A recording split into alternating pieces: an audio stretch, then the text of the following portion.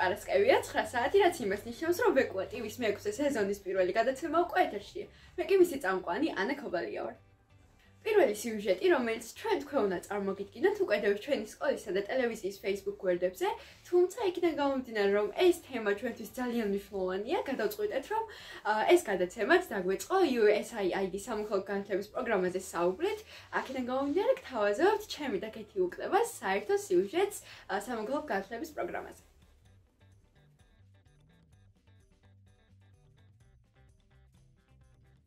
გამარჯობა. შეიძლება არ მელოდით, მაგრამ გპირდებით სულ რამდენიმე წუთს წაგართმევთ, რაღაცას მოგიყვებით და შემდეგ ჩემს სიტყვას და მთლიანად ვეკვოტივი საქმიანობას გადავცემ ჩემს საყვარელ ბავშვებს და მოსწავლეებს. უპირველეს ყოვლისა, ჩვენ ძალიან ბევრი ვილაპარაკეთ თუ როგორ უნდა გაგვეხადა თქვენთვის უფრო საინტერესო ჩვენი ტელევიზია, ვეკუას ამბები, როგორ მოგვეწოდებინა სწორად და ასე შემდეგ. ამიტომ გადავწყვეტეთ, რომ ჩვენ ჩვენმა გადაცემამ არ შემოიფარგოს მხოლოდ ერთი დღე კვირაში. ამიტომ რამდენჯერმე გექნებათ იმის შესაძლებლობა, რომ ჩვენი არაჩვეულებრივი ჟურნალისტები და სკოლის ამბები იხილოთ ჩვენს Facebook გვერდებზე. ასევე აღსანიშნავი ამბავია და ძალიან მნიშვნელოვანი, რომ ძალიან ბევრი სიუჟეტი დაგვემატა, რომელიც უფრო მეტად იქნება იმისკენ მიმართული რომ სკოლა ჩვენი შიდა სამზარეულო უკეთ გაგაცნოთ და ამ ყველაფერთან ერთად გააქტიურდება ჩვენი სოციალური ქსელები როგორც არის ინსტაგრამი, ტიკტოკი, ასევე ფეისბუქი და ყველა ინფორმაციას ჩვენ ცხოვრების შესახებ და როგორ ატარებენ მოსწავლეები დღეებს ვეკვაში ყველაფერს გაგაგებინებთ. იმედი მაქვს რომ ამ ყველაფერში მხარს დაგვიჭერთ და გამოყვავით და წარმატებებს უსურვებ ჩემს ბავშვებს რადგან გააკეთონ თქვენთვის ყველაზე ყველაზე მისაღები, მნიშვნელოვანი გადაცემები და გააჟღერონ თავიანთი ხმა. მოგესალმებით, დღეს 6 მარტია, რაც იმას ნიშნავს, რომ ვეკვატივის მე-6 სეზონი უკვე ეთერშია. მე კი მისი წამყვანი ანა ქობალია ვარ. მინდა გითხრათ, რომ ძალიან მომენატრა ამ ფრაზის ხმა და ძალიან მიხარია, რომ დაგიბრუნდით ძალიან მაგარი სიახლეებით და ახალი ამბებით. მოგეხსენებათ, რომ ჩვენი სკოლა ჩართულია USAID სამოქალაქო განათლების პროგრამაში, რომელს მეშვეობთ ჩვენ სკოლაში უკვე ძალიან მაგარი ბევრი პროექტი გახორციელდა. რამდენიმე თვის წინ გამოცხადა საგროტო კონკურსი, რომელშიც მონაწილეობაც ჩვენს გადავწყვეტეთ და წარმოადგენთ პროექტი სახელად სასკოლო ტელევიზია მეოთხე ხელისუფლება. რომლის მიზანია სასკოლო დემოკრატიის განვითარების ხელწყობა სასკოლო ტელევიზიის ბეკუა ტივის განვითარების და გაძლიერების გზით, რომელიც უკვე 2 წელია არსებობს იმისათვის, რომ სასკოლო საზოგადოებისთვის უფრო გასაგები, ნათელი და რაც თავარია, თვალსაჩინო გახდეს სკოლაში მიმდინარე მოვლენები. ჩვენ დასაბედნიეროთ პროექტმა მოწონება დაიმსახურა და დაფინანსებაც მოვიპოვეთ. აქედან გამომდინარე გვპირდებით, რომ ახალი მეექვსე სეზონიდან უკვე ჩვენს ტელევიზიას ეყოლება კომპეტენტური ჟურნალისტები, მემონტაჟეები, სოციმედია მენეჯერები და ეს ყველაფერი, რა თქმა უნდა, იმოქმედებს ჩვენი გადაცემების ხარისხზე. ასევე მომზადდება და გაძლიერდება თვითმართველობის საქმიანობის სიუჟეტები, რომელიც კიდევ უფრო თვალსაჩინოს გახდა ჩვენთვის რა არის დემოკრატია და დემოკრატიის გაძლიერებას შეუწყობს ხელს ჩვენ სკოლაში. ასევე USAID-ის სამოქალაქო განათლების პროგრამაში ჩართულ ხუთ სკოლას ექნება საშუალება, რომ მათ სკოლებშიც დაფუძნდეს სასკოლო ტელევიზია და ეს ჩვენთვის იქნება ძალიან საამაყო. ზემოთ აღნიშნული მიზნების მისაღწევად USAID-ის პროგრამის ფარგლებში ძალიან ბევრ მაგრაღონისიებას განმახორციელებთ, როგორც უკვე ვთქვი, გავიღრმავებთ ცოდნას მედიისა და სამოქალაქო განათლების შესახებ, წავოთ სხვადასხვა ტელევიზიებში, შევხვდებით ჟურნალისტებს, რომლებიც უფრო დაგეხმარებიან, რომ ჩვენი ტელევიზიის ხარისხი გავაუმჯობესოთ და ასე შემდეგ. აქედან გამომდინარე, თუ გინდათ რომ თქვენც იყოთ ამ ყველაფრის ნაწილი, ჩვენ თქვენთვის ღია ვართ და ნებისმიერ დროს შეგიძლიათ დავიკავშირდეთ და გახდეთ ჩვენი გუნდის წევრი. ახლა კი ჩვენი ტელევიზიის სიახლეებიდან გადავერთოთ ვეკუას სიახლეებზე, რომელსაც როგორც ყოველთვის ლიკუნა ტუხაშვილი წარმოგვიდგენს.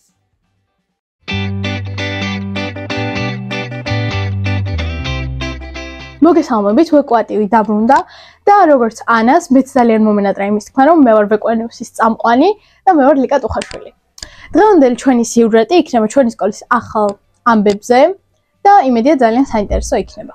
2023 წლის 21 მარტს სკოლაში სამოქალაქო კლუბის იმპოსტერ, ანუ მომავლისთვის ორგანიზატორობით გამართა და აღინიშნა დაუნის სინდრომის საერთაშორისო დღე, რომელშიც აქტიური მონაწილეობა მიიღეს მეშვიდე კლასელებმა.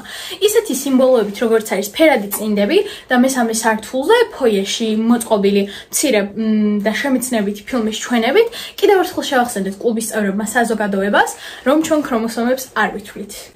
USAID-ის სამოქალაქო განათლების პროგრამის ფარგლებში და ჩვენი სკოლის სამოქალაქო განათლების კლუბის იმპოსტერ, ანუ მომავლისთვის დახმარებით და ასევე 11 პედაგოგის ჩართულობით 17-დან 25 თებერვლის ჩათვლით გამართა ანტისაოკუპაციო კვირეული ვეკუაში. ჩვენ ვიხილეთ 17 თებერვალს გაკვეთილების შემდეგ შემეცნებითი ფილმი, ამას მოყვა დისკუსია ამ თემაზე და უფრო შემეცნებითი გახდა ჩვენი კვირეული. ასევე მესამე სართულზე ფოიაში ყოველდღიურად იყო გაშვებული პატარა სიუჟეტები ოკუპაციასთან დაკავშირებით და ნახატები, რომლებიც ჩვენი სკოლის მოსწავლეებმა შეასრულეს.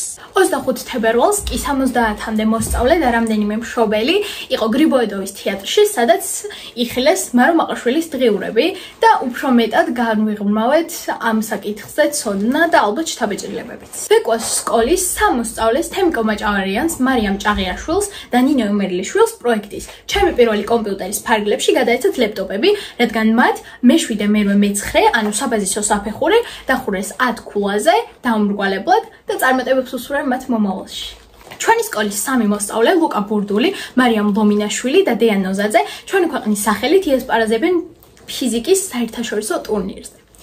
თესეუში 11 და 12 მარტს ჩატარდა დასკვნითი ტური, რის შედეგადაც შეირჩა საქართველოს ნაკრები, რომელშიც შედიოდა 5 წევრი: ვეკუას და კომაროვის სკოლის მოსწავლეები. სამი მათგანი კი ჩვენი სკოლიდანაა.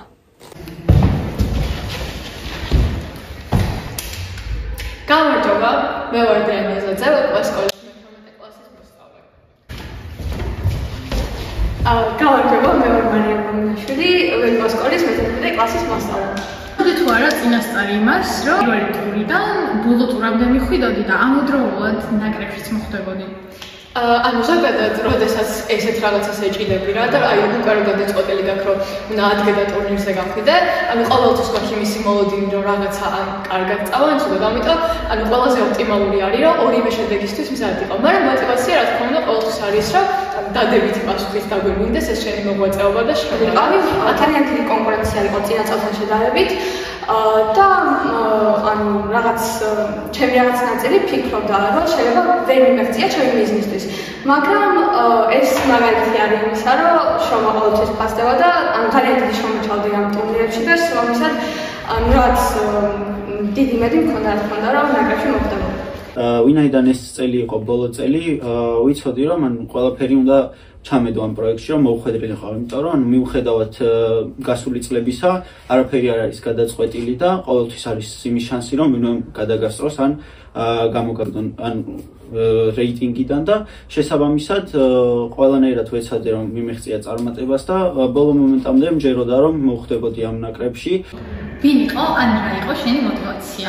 აა სხვათა შორის, როდესაც ფიტიზე ვსაუბრობ, არ შემიძლია არ ვახსენო ჩემი მეგობარი ლევან ლოლაშვილი, რომელმაც ან თავდაპირველად მაგისტრალობით გავიგე ტურნირების შესახებაც და мотивაციაც უბრალოდ ეგიყო, იმიტომ რომ ან როცა გეუბნებიან რა, რომ რაღაცა ისეთი მაგარი რაღაცა ტარდება და თან გეუბნებიან, რომ აი ძალიან დიდი შანსი გაქვს ამაზე მოხვედრის, ანუ ერთგვარი мотивация არის რა და ეგ უკვე მეორე ფაქტორი არის, რომ ვიღაცას რომ მაგის იმედი აქვს, რომ შენ რაღაცას მიაღწევ მან პროექტში, ანუ ეგ უკვე რაღაცა მეორე ძალა არის, რომ გინდა რომ ეგ იმედები არ გავიცრო. შე მოხდი და ჩემი ქულები ხო მაღალი, გამიხარდა თქმა უნდა და გავაცნობიერე რომ ჩემი შრომა რაც ჩავდი ამ პროექტში დამიფასდა.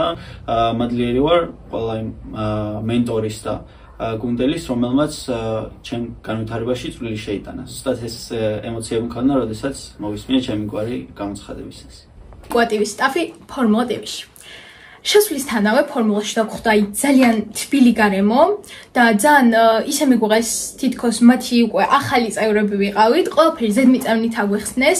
მონტაჟსაც შეეხებოდა ყველაფერი მოვიარეთ ყველა სტუდია რაც შეიძლებოდა ნიუსებს ლაივ რეჟიმში ვუყურე და ძალიან საინტერესო იყო, მინდა გითხრათ. და ფიქრობ, რომ ძალიან გავიღრმავეთ ცოდნა და გამოცდილებაც მივიღეთ, თუ კავკასიის უნივერსიტეტიც არ ჩამორჩება ამ რიგს, სადაც სპეკულატივის სტაფი იყო. იქაც ასევე თბილი გარემო იყო, ძალიან თბილი ბავშვები იყვნენ, რაღაც არანაირი დისკომფორტი არ გვიგრძნია. გავიგეთ ძალიან ბევრ რაღაც მედიის შესახებ, ასევე გადავიღეთ საცდელი ვიდეოები, დავამონტაჟეთ და უფრო გავიღრმავეთ ამ საკითხით ცოდნა და ასევე ვისწავლეთ ყველაზე მთავარი რამ, როგორ გავხადოთ ჩვენი სიუჟეტები და თვითონ ჩვენი გადაცემა უფრო მიმზიდველი, ყურებადი, საინტერესო და იმედია რომ ეს ყველაფერი გამოგვივა. სულ ეს იყო დღეისთვის, რაც მინდა და თქვენთვის მეთქვა. მე კი დაგიბრუნდებით მომავალ კვირას ახალი სიუჟეტით და ახალი სიახლეებით. როგორც უკვე გაიგეთ, ჩვენი პირველი სიუჟეტიდან ვეკვატივი ამიერიდან აქტიურად იმუშავებს სხვადასხვა სკოლების თვითმმართველობებზე. ახლა კი გადავწყვიტეთ, რომ ჩვენი პირველი სიუჟეტი, რა თქმა უნდა, მიგვეწყნა ვეკუასთვის, ვეკუას თვითმმართველობისთვის, რომელიც თქვენ მუდმივად ძალიან განსხვავებულ და მრავალფეროვან პროექტებს გთავაზობს. ამ სიუჟეტზე სესილია ხუხვა მიმუშავა. მოგესალმებით, მე სესილია ხუხვა ვარ, დღეს კი ჩვენი სტუმარია სკოლის თვითმმართველობის თავმჯდომარე ნიკოლოზ ლობჟანიძე. მოგესალმებით, მადლობა შეგეთ ჩემო წესს. პირიქით. აა პირველი კითხვა. რას ნიშნავს თქვენთვის მოსწავლეთა თვითმმართველობა? როგორც მოგეხსენებათ, სასკოლო საზოგადოება შედგება მშობლებისგან, მასწავლებლებისგან და მოსწავლეებისგან. აა და ეს სასკოლო საზოგადოების ყველა წევრმა უნდა უზრუნველყოს ხარისხიანი განათლების ხელმისაწვდომობა. აა ისინი რა თქმა უნდა ამას აკეთებენ, მაგრამ მოსწავლეებზე უფრო კარგად სასკოლო პრობლემები, რა აწუხებთ მათ და გარშემო სიტუაცია არავინ არ იცის.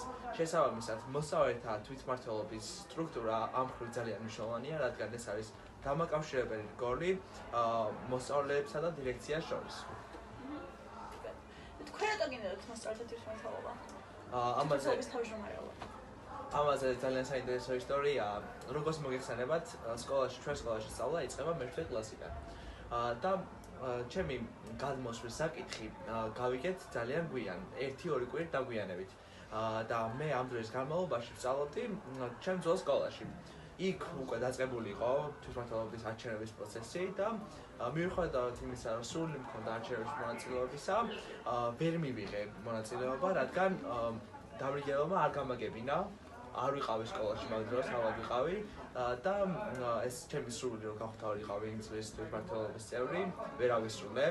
მაშინ რაც ამ სკოლაში გადმოვედი, სამოქალაქო განათლების მასალმა უფრო ნათლად აგვიხსნა ფუნქციები, რა დაგვირთავთ თვითმმართველობას და ჩემი სრულმა უფრო იმატა ამ ხრივ და შემდეგ უკვე როდესაც მომეცა შესაძლებლობა რომ არჩევნებში მივიღო მონაწილეობა, თვითმმართველობის თავმჯდომარის არჩევნებში მივიღო მონაწილეობა, გავედი, წარმოვიდგინე პროგრამა და დააფიქსირე თავიანთი არჩევნები და შემდეგ ამერჩიეთ თვითმმართველად და ამ დროს ავისრულე ჩემი ოცნება რომ გავხდარიყავი თავმჯდომარე. და დღეს ვარ სკოლაში თვითმმართველობის თავმჯდომარე. კი ბატონო. კარგით. ეხა ანუ უშუალოდ პროცესი რა გვიხწეროთ, როგორ თანამშრომლობთ სკოლის ადმინისტრაციასთან და ზოგადად რამდენად ეფექტურია ეს კომუნიკაცია თქვენ შორის მოკლედ. დირექციასა და თვითმმართველობას შორის ჯანსაღი კომუნიკაცია არის ძალიან მნიშვნელოვანი. რადგან თვითმმართველობა არის გადაწყვეტილების მიღები ორგანო, ძალიან მნიშვნელოვანი რგოლი სკოლაში. ჩვენ ყოველ კვირა ყოველ კვირაულად ვატარებთ კვლევებს სასკოლო საზოგადოებაში, ვიკვლევთ პრობლემებს, რა აწუხებს მოსწავლეებს, რა ხდება სკოლაში, რა გვაქვს გამოსასწორებელი, რაზე უნდა ვიმუშაოთ და საერთოდ პრობლემაზე გავიხილავთ. გამოსწორების გზებზე კი შემდეგ მივდივართ ამდენიმე თვითმმართველი დირექციასთან, მასთან ერთად გავიხილავთ შემდეგ ამ წერილს ვაზრობთ ოფიციალურ სახეს. აა შეგვაქვს დირექციაში და მათთან ერთად გავიხილავთ გამოსწორების გზებს. ნამდვილად ვალიდურია ეს გზა ნამდვილად იმუშავებს და ასე შემდეგ. ამიტომ ვთვლი რომ ეს ძალიან მნიშვნელოვანია ეს პროცესი შეგიძლიათ მოგუყვეთ ერთ-ერთი მოსწავლეთა თვითმმართველობის პერიოდში განხორციელებული პროექტის შესახებ. აჰა. ერთ-ერთი პროექტი რაც განახორციელა და ჩემი აზრით იყო ძალიან მნიშვნელოვანი, ეს არის თვითმმართველობის კვირეული. როდესაც არჩევნების არჩევნები დამთავრდა, ამირჩიეს როგორც თავმჯდომარე და იყო პირველი საერთო კრება. გადაწყვეტეთ, რომ ის პროგრამები, რაც ჩვენ კლასებში წარმოადგენთ და საერთო კრებაზე გავგეზიარებინა სკოლის მოსწავლეებისთვის და მასწავლებლებისთვის ყოველდღიურად, როდესაც ისინი ტელეფონებში მოძრაობენ. მოვაწყეთ ერთი კვირის განმავლობაში მოვაწყეთ კლასების მერხები სადაც წარმოდგენილი ქონათ მათი პროგრამა, ასევე იყო პატარა რჩევების ყუთი, სადაც ტელეფონში, ჩვენ მესამე საფრთხის ფოიეში. აა და აქ მასწავლებლები, მოსწავლეები გვაძლევენ რჩევებს, რა მქონდა გამოსასწავლებელი, რაზე ვიყა, რაზე მქონდა სამუშაო.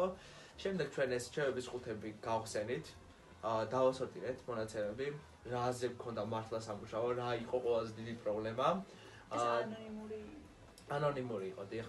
აა და შევადგინეთ რეკომენდაციის წერილი, სარეკომენდაციო წერილი დირექციასთან. აა ჩამოწერეთ რამდენიმე პუნქტი, რაზეც მქონდა სამუშაო. შემდეგ დირექციასთან თანამშრომლობით ეს პრობლემები უკვე გამოსწორებულია და კიდევ აპირებთ მსგავსი აქტივობა ჩავატაროთ, რომ უფრო მასშტაბური კვლევა იყოს სკოლის სკოლაში არსებული სიტუაციის. და ბოლო კითხვაც. როგორ ფიქრობ, რა უწყობს ხელს მოსწავლეთა აქტიურ ჩართულობას სასკოლო გარემოში? როგორც მოგიხსენებათ, სასკოლო ცხოვრება ვეკუაში არის საკმაოდ აქტიური. და მოსწავლეები ჩართულები არიან სხვადასხვა პროექტების ორგანიზებაში. ჩვენ სკოლაში არის მოსწავლეები, რომლებსაც ეს გათავისებული აქვთ, რომ უნდათ რაღაცა პროექტის ორგანიზება, დაგეგმა.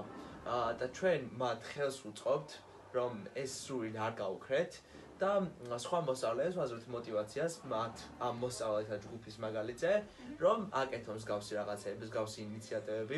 ესენი რა თქმა უნდა მომავალში ხელს შეუწყობს მათ ამ ყველაფერს ჩვენ ვაჩვენებთ გადავწვეთ მოსწავლეებს სხვადასხვა შეხვედრებით, სამოქალაქო განათლების გაკვეთილებზე, მოსწავლეთა თვითმმართველობის საშუალებით და ჩემი აზრით ეს ძალიან მნიშვნელოვანია მათთვის мотивацიის მიცემაში.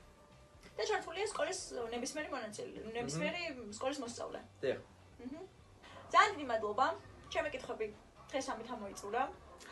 აა თუ თქვენ გაგიჩნდათ რაიმე სახის კითხვა, ამ თემასთან დაკავშირებით შეგიძლიათ მოგწეროთ და ჩვენ აუცილებლად გიპასუხებთ. აა წარმატებები შენ.